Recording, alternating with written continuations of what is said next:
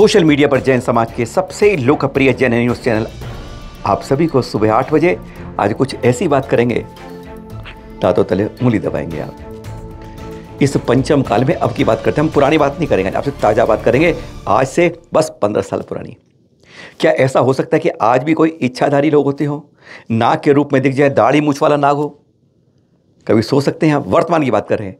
क्या आज भी वर्तमान काल में मंदिरों की घंटियाँ बसती और कोई ऊपर छलांगे मार के निकलता हो?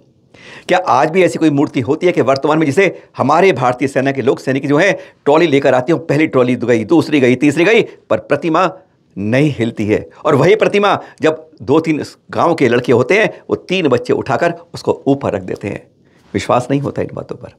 क्या ऐसा हो सकता है कि कहीं पर अंदर भोरा हो, वहाँ से कहीं ऐसा अतिशय प्रतिमाएँ आज भी वहाँ पर दबी पड़ी हो, जिसे एक आदमी लेकर आज, जिस पर दो रुपए नहीं थे, आज वो लखपति लखपति बन गया आज की बात कर रहे हैं। कि आज भी वैसे ऐसी चमत्कारी प्रतिमा है कि जहाँ पर कोई परिक्रमा एक लगाता है तो उसकी मनौत पूरी हो जाती है। वर्तमान की बात कर रहे हैं और अब बात कर रहे हैं आपसे आज ग्वालियर के पास बस 16 किलोमीटर दूर पर कुलैथ गाँव की, जहाँ पर सौंक नदी बास बहती है। बात कर रहे हैं आपसे हम 2009 की। समझ लीजिए फरवरी के आखिर के महीने की। वहाँ पर देखा कि एक गाँव के अंदर उस गाँव से नदी में बहते बहती एक खंबा आ गया है, जिसमें आगे कुछ मूर्ति ऐसी थी। तो सैनिक वहाँ पर कैंप लगा हुआ था। तो सैनिकों ने सोचा इसको लेके हम ले जाते हैं ट्रॉली में। साहब से फ़ोन किया, उन्होंने कहा, ट्रॉली में ले आओ। कहते हैं, पहली ट्रॉली फेल हो गई, दूसरी हो गई, तीसरी हो गई। उन्हें साहब को फ़ोन किया ऊपर कैप्टन को, भाई, हमसे ट्रॉली में नहीं आ रही है, प्रतिमा आगे बढ़ती ही नहीं है। पता है उसने क्या जवाब दिया? आपको सुनाते हैं जो इस समय वहाँ के अध्यक्ष हैं, मुरैना में रहते हैं जवाहरलाल जैन जी। उन्हीं से बताते हैं जो उस समय मुरैना में विद्या में मंत्री थे। जरा सुनते हैं उनसे हमारी बात पे नहीं उनकी बात पे विश्वास करिए जो देखते हैं बोलते हैं। सुनिए जरा। तुम्हारे गाँव में एक ऐसी मूर्ति खड़ी हुई है कितनी चमत्कारी मूर्ति है कि उसको अभी महीना पंद्रह दिन पहले वाले मिलिट्री के लोग लेने के लिए आए थे और उन्होंने उसको ट्रॉली में रख लिया था। हम्म। पर वो ट्रॉली चली नहीं खराब हो गई फिर उन्होंने दूसरी मंगाई दूसरी भी नहीं गई फिर तीसरी मंगाई तीसरी भी नहीं गई तो वहाँ के कैप्टन ने अपने अधिकारी को पूछा कि साहब ये जैन प्रतिमा जी है ये यहाँ से हटना नहीं चाह रही है ऐसी स्थिति बन चुकी है। हम्म। तो वो लोगों ने कहा कि भैया वो जैन धर्म की प्रतिमा जी अटूट श्रद्धा वाली होती है उनको टच मत करो आप तो वहीं छोड़ करके चले आओ। उन्हें बायत गाँव वालों ने बताई किसने भाई तुम्हारी ऐसी प्रतिमा पड़ी है उसकी हालत क्या हो रही है? वह जाते हैं उस नदी किनारे सचमुच विश्वास तो हो हो। सचमुच तब गाँव में एक बात होती थी। आपको बता दें, गाँव वाले खंडित प्रतिमा गाँव के अंदर नहीं लाते हैं। आज भी कई गाँवों में ऐसा है। कि खंडित प्रतिमा नहीं, अशुभ हो जाएगा। हमारे यहाँ पता नहीं बुद्धि कहाँ से कहाँ जाती है। चलो, ये बात है उनकी। वह भी लाए, उन्होंने फ़ोटो खींची और पहुँच गए वे पास में विराजमान थे मदौद गाँव के अंदर सुरत्न सागर जी। पहचानते ना आप? अभी दिल्ली के पास सूर्यनगर में आचार्य सौभाग्य सागर जी और उन्हीं के पुत्र आचार्य गृहस्थ के आचार्य सूर्य दोनों का चतुर्मास हुआ था। बस वही सूर्यनगर जी मिलते हैं, फ़ोटो दिखाते कहते हैं, भाई, ऐसा है महाराज जी, ऐसी बात हुई थी। वो कहते हैं, अभी तो मैं शिवपुरी जाऊँगा, तब रास्ते में देखूँगा। व्यक्तित करते करते दिन आ जाता है, नौ मार्च। वह पता करते हैं, उससे पहले उन्हें देखते हैं कि वहाँ पर उनके सामने प्रतिमाएँ निकलने की कोशिश होती है। वह एक प्रतिमा के बारे में बात करते हैं तो वह वहीं से देखते हैं कि ऐसी प्रतिमाएँ जब देखते हैं महाराज जी तो वह वहाँ से अपने गुरुवर। आचार्य सौपा के साथ जो संपर्क करते हैं, फ़ोन को बोलता है वह थोड़ा ध्यान लगा कहते हैं, नहीं, यहाँ पे एक ही प्रतिमा नहीं है, ऐसी अनेक प्रतिमाएँ, महज पचास मीटर की दूरी में, कुछ नदी में मिल जाएँगी, उनको भी खोज लो। कहाँ बैठे हुए थे और कहाँ से वह बता देते हैं, चंबल के पास से यहाँ बता देते हैं।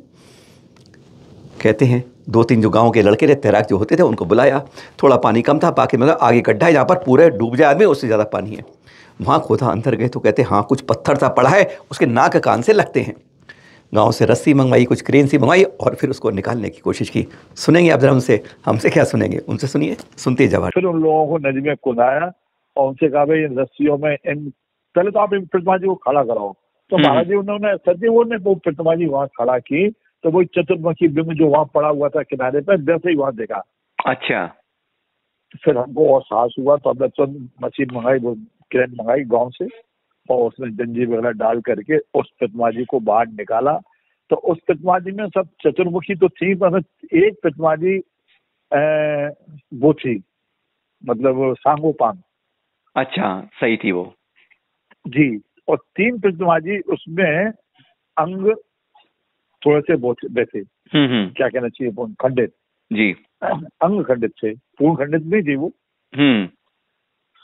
फिर लड़कों को पुनाया उसके अंदर। हम्म। उन्होंने कहा अभी और है। तो हम्म। वो फिर वो भी खड़ा की तो वो भी निकली तो वो चारों प्रतिमा जी उसमें अंग उपांग उनके खंडित थे और वो भी हमने बाहर निकाल के रखी अच्छा। अब चूँकि एक प्रतिमा जी भी उसमें वो थी अपनी सही तो हमारे मन में आया भाई एक प्रतिमा जी तो है कम से कम। हम्म तो हमने वो ट्रैक्टर बुलवा करके उन तीनों प्रतिमा जी का आप विश्वास नहीं करेंगे दो दो लड़कों ने वो बिंब उठा करके जो उससे भी गए थे टोली से हम्म। उस बिंब को दो आदमी वहाँ से उठा करके ट्रॉली में रखवा दिया और दोनों हमने ये बिंब रखवा लिए तीनों बिंबों को हमने रख लिया। अब चूँकि ये बात जो आग की तरह फैली हम्म। तो हमको ऐसा लगा कि ऐसा नहीं हो कि गवर्नमेंट की तरफ़ से कुछ लोग आए उन प्रतिमाजी को उठा के ले जाए। हम्म तो हम जल्दी से जल्दी बड़े मंदिर जी में उन प्रतिमाजी को लेने गए तो वो चूँकि दरवाज़ा छोटा था बिंब बड़े थे। तो साइड की दीवार तोड़ करके हमने वो तीनों बिंब वहाँ विराजमान करवा दिए चौक में। जी हाँ 9 मार्च को 2009 को यह घटना हुई और 10 मार्च अगले दिन था जन्म तप कल्याणक आदिनाथ भगवान जी का। जब यह खबर मिली तो आचार्य जी ने, उन्होंने तब मुनि थे। उन्होंने उस समय चारों तरफ़ यह खबर भिजवा दी कि ऐसी प्रतिमा निकली है, सैकड़ों लोग आने लगे। क्योंकि बहुत गंदी हो गई थी, कीचड़ में थी, इस तरह, मिट्टी में थी, इस तरह थी तो उसके कह दिया कलशा अभिषेक इसका होगा, जिस सफ़ाई हो जाए। वैसे ऐसे पूछने नहीं हो पाती है। ये खबर मिलते ही सैकड़ों लोग आने लगे वहाँ पर। उनको देखनी है आदम खत की प्रतिमाएँ थी और एक का वज़न 500 किलो था। अचंबा कर सकते हैं कि तीन बालक उसको फूल की तोड़ सकते हैं। पुरानी बात नहीं कर रहे, वर्तमान की बात कर रहे हैं। ऐसी प्रतिमा जो ट्रॉली में सैनिक नहीं उठ पाई, जिसने कहा कि उनके सैनिकों ने करिश्मा होता है जैन प्रतिमाओं में, मत छेड़ना उनको। और फिर क्या होता है? नाम कैसे रखते हैं उसका? किसी पर लांछन नहीं है। हज़ारों वर्ष प्राचीन कहा जा रहा है। महाराज जी ने कहा ये चतुर्थ कालीन प्रतिमा चौमकी हो सकती है। एक नहीं दो नहीं तीन नहीं चार चार चौकी प्रतिमाएँ जो यहाँ पर मिली हैं। जो अब मंदिर में विराजमान है, ये दृश्य भी देख रहे हैं। उन्होंने बताया कि इसका नाम फिर रखा गया आदिनाथ। इसलिए कि उस दिन जन्म तब कल्याणक था। और फिर वहाँ पर क्या हुआ? क्या चमत्कार होता है? बुधवार को जो यहाँ पर आके वंदना करता है। सीधा सुनिए उन्हीं के मुख से। क्योंकि हाँ, उनके ऊपर कोई भी चिन्ह नहीं है। नहीं देखे। हाँ चिन्ह कहीं भी नहीं देखे। तो हम्म। महाराज जी ने ये कहा भाई कि मैं पाप का भागी बनूँगा जो भी कुछ है क्योंकि आज आजनाथ भगवान का जन्म कल्याणक है और जो दो तीन कल्याणक है मैं तो आज से इनको आजनाथ के नाम से ही जानूँगा तो हम्म, आप हम्म। लोग भी आजनाथ के नाम से जाना है तो वो आजनाथ के नाम से उससे उस दिन से हम लोगों ने उनको वो कर लिया अब वो उसने बताया इसको यार बुद्ध में बुधवार को यहाँ आकर के कोई आदमी एक आठ एक सौ आठ परिक्रमा लगाएगा तो उसके सारे संकट दूर हो जाए तो गाँव के लोग काफ़ी आने लगे, जैन समाज के भी लोग तो जाने लगे। और मतलब महीना, दो महीना तक इस तरीके का वहाँ कार्यक्रम चला आरती मारती होती रही, और लोग जिनको कुछ मन में जिज्ञासाएँ थी या जिनकी इच्छाएँ थी, वो पूर्ति भी वहाँ हुई, ऐसा लोगों का कहना है। यही नहीं, इस शांतिनाथ मंदिर के ना नीचे भौरा बना हुआ है। भौरा, जहाँ पर कहते हैं, प्रतिमाओं को छुपा कर कोई आक्रमणकारी ना है, कोई ना इस तरह। 500 साल प्राचीन मंदिर कहा जाता है। और फिर उन्होंने जब वहाँ पहुँचे तो आज आचार्य श्री सुरत्न सागर जी को वो बात बताई कि यहाँ पर एक भौरा भी है, शायद वहाँ पर कुछ प्रतिमा हो। उनको उत्सुकता हुई, वह जाने लगे तो सीधा वहाँ पर एक नाग मिला आले के अंदर, जिसकी सब पीले रंग का नाग और जिसकी दाढ़ी मूस थी। फुंकार रहा था, जिसे कहीं रोक रहा था। तुरंत संपर्क किया, गुरुवर आचार्य श्री सौभाग्य सागर जी से। तो उन्होंने क्या कहा? यह ऐसा वैसा नाग नहीं है जिसकी दाढ़ी मुझ सफ़ेद बता रहे हो, और तिरंगा, यह इच्छादारी है। कोई भी कोप कर सकता है, इसको छेड़ना मत। हमारी बात पे विश्वास करेंगे? नहीं, जिसने देखा था, वहाँ था, उसकी बात पे आपको विश्वास करना होगा। हाथ कंगन को आरसी किया और पढ़ लिखे को फारसी किया। सुनिए तो खुद महाराज जी वहाँ अंदर गए भौरे के अंदर तो जैसे ही हम लोग ऊपर से नीचे उतरे हम्म। तो उतरते ही एक आले में पीला नाग उसके सफ़ेद दाढ़ी मुँह सफ़ेद बाल से मुँह पर मतलब हम्म। वो उसमें बैठा हुआ। हम्म। तो थोड़ा भय लगा महाराज जी बाहर आए और महाराज जी ने फ़ोन कराया हम लोगों से महाराज बड़े महाराज जी के लिए। उन्होंने कहा कि भाई उस नाग से मत बोलना वो इच्छाधारी नाग है। अच्छा। आप लोग छिड़खान बिल्कुल मत कर देना नहीं तो तुमको कोई भी दुर्घटना घट सकती है। उसकी तरफ़ देखो भी मत कुछ भी मत करो वो जैसा बैठा वैसे ही बैठा रहने देना। उससे मतलब कोई छेड़छाड़ मत करना। अच्छा। उसके देखा था और दाढ़ी मतलब सफ़ेद बाल से महाराज ने भी देखा था। हम्म, हम्म, क्योंकि मैं तो नहीं गया था एक दो भाई गए थे उन्होंने बताया दाढ़ी मूछे सब थी उसके। अच्छा। तो वो महाराज जी उसको वहीं छोड़ करके और नीचे बोरे में जो एक संकीर्ण रास्ता है मोरी टाइप का उसमें लेट करके वो अंदर वहाँ तक गए थे। हम्म, हम्म, हम्म। और लौट करके भी आए तब तक वो नाग वहाँ से चला गया वहाँ पता नहीं कहाँ चला गया। अचरज जी अचरज अतिशय ही अतिशय है। दस मार्च को जहाँ महामासी है उसके बारे में बताएँगे। आपको पर यहाँ पर यहाँ पर आते हैं। गाँव वाले पता है क्या बताते हैं? कि अब भी वह उस मंदिर से घंटियाँ सुनते हैं जब बंद होता है। और एक लाल लंगोट वाला बाबा कभी कभी वहाँ से निकलता दिखता है, जबकि देखते कोई अंदर नहीं होता है। दरवाज़ा बंद कर दो तो कहते छत के ऊपर से कूद के बाहर चलता है, पीछे जाते कोई नहीं मिलता है। हमारी बात पे विश्वास क्यों, जो गाँव वाले देखते हैं, उनकी बात पे सुन तो जरा जवाहर जी से सुनते हैं, सुनिए। इसमें रात्रि को घंटियों की आवाज़ आती है, और एक बाबा लाल लंगोट और हाथ मुष्टिका लेकर के इस दरवाजे से निकलता है। दरवाज़ा खुला होता तो तो निकल जाता है, नहीं है तो इस दीवार के ऊपर से छलांग मार करके कई बार हमने निकलते हुए देखा है। बात की ना भौरे की, उस भौरे को तीस साल पहले उनसे जब वो छोटे थे जवाहर, तब उनके चाचा जी ने उसको बंद करवाया था आगे से। उत्सुकता होती है बच्चे में तो उन्होंने कहा, भाई, भौरा, चाचा बंद क्यों करवा रहे हो? इसमें छेद हो रहे हैं सब वैसे देखते हैं ना जो जो गोल गोल छेद होते हैं, इसलिए होते हैं कि रोशनी आर पार हो जाए। तो उन्होंने कहा, बंद क्यों करवा रहे हो? उन्होंने जवाब नहीं दिया। पर कहते हैं, उस मंदिर की दीवार से एक मुस्लिम का परिवार है साथ। उसने बताया कि यहाँ पर एक तुम्हारे नाग बाबा का मंदिर है। तब तो बात नहीं हुई। जो दो दो रुपए के लिए मोहताज था, आज वह ग्वालियर चला गया। आज उसके कई मकान हैं और लखपति लखपति बन गया है। क्या राज था उसका? क्या वह कोई संपत्ति वहाँ से ले गया था? कुछ ऐसा ले गया था? और अब जब वो जीत को पाँच लाख की जगह देता था उसने बोली बढ़ाता गया पाँच दस पंद्रह करता गया। इतनी मांग ली उसने मांग कि आज मंदिर के समाज वालों पर इतनी हिम्मत नहीं है। सुन लीजिए एक बात और जवाहर जी से। इसके पिछवाड़े साइड में पूर्व साइड में। हम्म। एक मुसलमान का घर है। हम्म।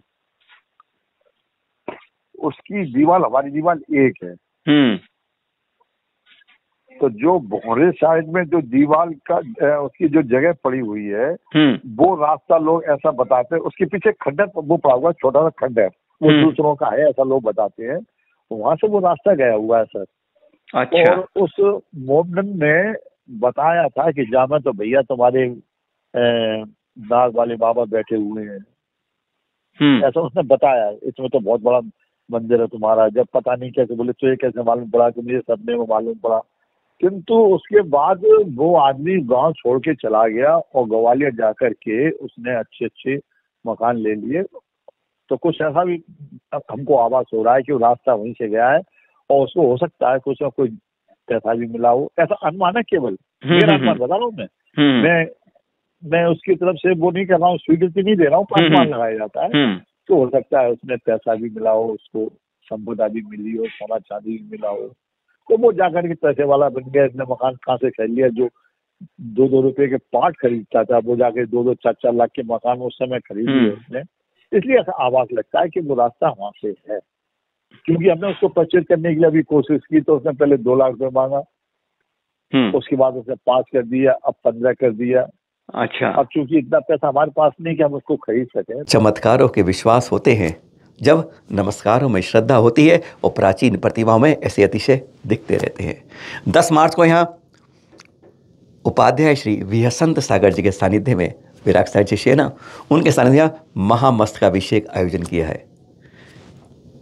अगर आपको विश्वास करना हो, एक बार दर्शन कीजिएगा। आइएगा, ग्वालियर से बस 16 किलोमीटर दूर है कोलैत गाँव, सौंग नदी के पास। सादर, जय जिनेन्द्र।